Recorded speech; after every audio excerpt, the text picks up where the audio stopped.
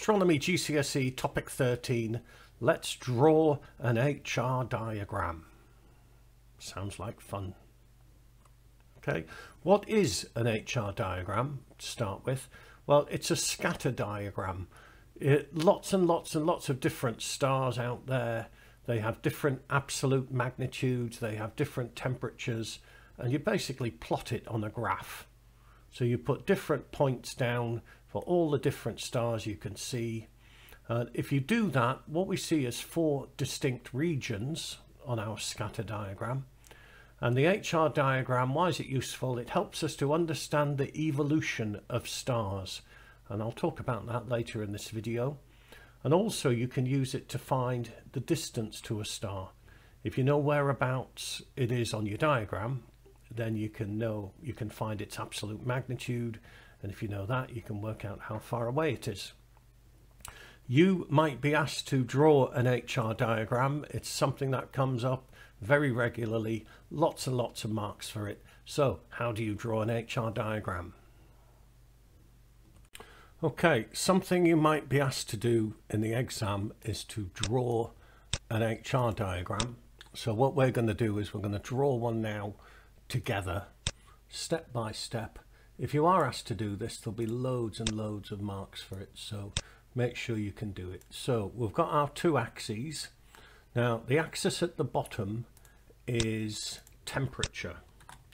So temperature Something a bit weird about this axis here is that normally you'd go from cold to hot, but on this particular temperature axis, um, colder, colder, I don't think there's any cold stars, but colder is up there and hotter is over there. So it's a kind of a backwards temperature axis. It goes from hot to cold. The, the hottest stars, they go up to about 50,000 Kelvin if you want to be flash, you can put some numbers on. The coldest stars at their surface, they go down to about 2500 Kelvin. So a backwards temperature axis. One thing you can put on this axis, it's up to you, is, if I just make it a bit wider, is we can put O, B, a, find, girl, kiss me. Oh, be a fine girl, kiss me.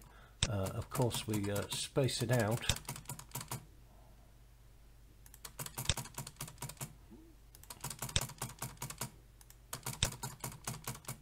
Something like that. Okay.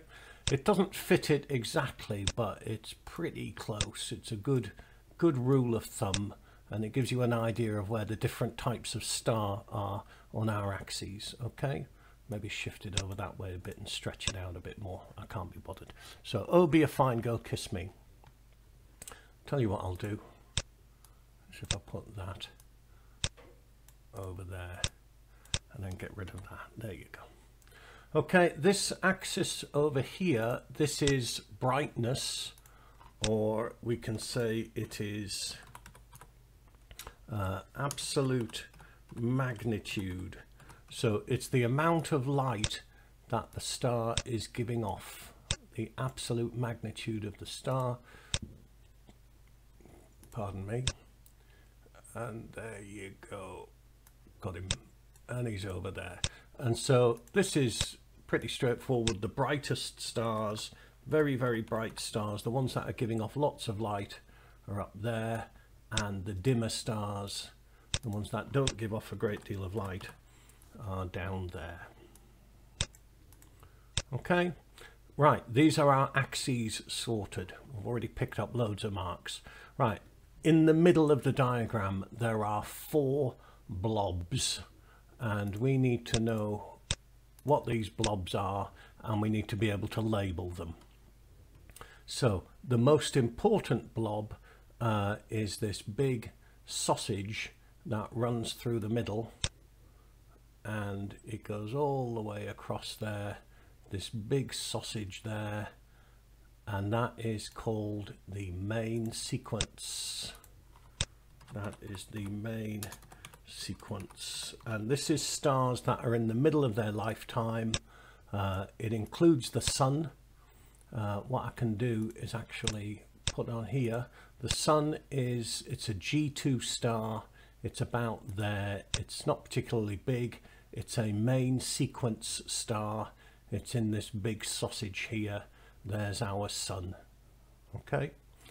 Uh, the next blob I'm going to do is down here now these stars are very hot but they don't give off lots of light uh, and they don't give off lots of light because they're not very big. They are very small, very hot stars and they are white dwarfs. White dwarfs. Is it dwarfs or dwarves? There you go, white dwarfs.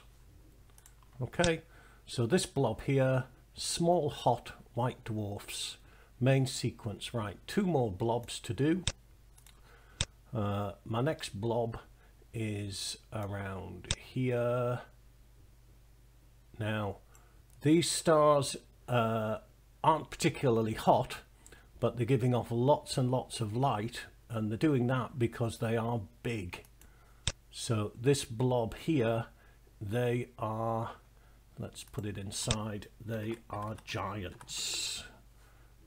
Okay, uh, and then there is one more blob. And these guys give off lots and lots of light because they are very very big. Uh, in terms of temperature there's a bigger range of temperatures. These guys around here and they are I'm sure you know by now they are super giants okay so four blobs I'm not saying they're in exactly the perfect position I mean, in, in real life, they're not this segregated. There is a bit of, you know, crossing over between them, but this is certainly enough to get the marks in an exam. White dwarfs, the main sequence, giants and supergiants. I'm going to add one more thing to my diagram, and that is something else. I'm going to do it in a different color, which is basically going from going in this direction here, in this direction from bottom left to top right, is the stars are getting bigger. So the smaller stars are bottom left. Let's put an arrow, another arrow there. The smaller stars are bottom left. The biggest stars are top right. And I reckon that's a, that's a pretty good HR diagram. In fact, what I'm going to do is I'm going to label it an HR diagram.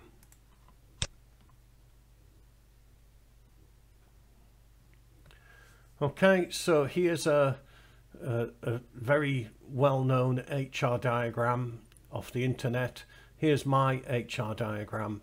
Not bad, A. Pretty close and you can see the four main groups of stars on the HR diagram. Now, the life cycle of our sun. We're going to talk about the life cycle of stars in a, a later topic. Stars like our sun and stars much, much bigger than our sun. From GCSE physics, you should remember nebula, then protostar, then main sequence, then red giant, then white dwarf, then black dwarf. Now, what does that look like on an HR diagram? One of the most useful things about HR diagrams is that they can help us to understand the evolution of stars. And what we can do on a, an HR diagram is show the evolution of our sun. Now, our sun is going to start off as a protostar, now, protostars aren't on this diagram because they're not really stars. Fusion hasn't started yet. If they were on, they would be somewhere over here because they're not, they're not very bright and they're not very hot. So protostars over here, then our sun comes onto the diagram like this. Okay, so from this bottom right corner, it moves onto the main sequence and this is where our sun is now Okay, uh, our sun will be on the main sequence for a total of about 10 billion years. Uh, it's a is it a yellow dwarf, I believe, our sun. Uh, when the hydrogen starts to run out, what will happen is our sun will get much, much bigger and it will become a red giant. And so it will go from the main sequence into the giants there. Um, it'll stay a red giant for a while, then that will collapse and it will become a white dwarf. And on this diagram, I'm going to draw like that. So our sun is going to become a white dwarf. Uh, this white dwarf will eventually cool down and it'll take a long, long time to do it. It will eventually become a black dwarf and now it moves off the diagram and as it becomes a black dwarf, we're kind of heading in this direction over here and a black dwarf isn't really a star because there isn't any fusion happening in it. So this diagram shows the, the life cycle of our sun on an HR diagram. Protostar to main sequence to a red giant to a white dwarf and then it moves off the diagram to become a black dwarf. Lastly, what about stars which have a mass much greater than our Sun? We're going to talk about their life cycle later on in another topic, but just for now, on an HR diagram, this is what it would look like from the main sequence onwards. Main sequence to a supergiant, then it does this weird thing. It ends up as a, a supernova.